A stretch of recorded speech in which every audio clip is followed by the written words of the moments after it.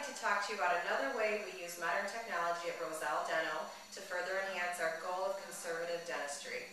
It's the Diagnodent Decay Detection Device. Traditionally, we use dental x-rays to detect decay between teeth, but decay on the biting surfaces are more difficult to detect with x-rays. In the past, we have been limited to using a dental explorer to look for cavities on the biting surfaces of teeth, which contain many pit and valley-like crevices, but sometimes decay may not be evident until it is much larger.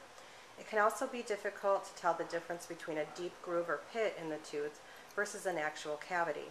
By the time the decay is large enough to be detected with the Explorer, it is actually much larger below the surface of the tooth.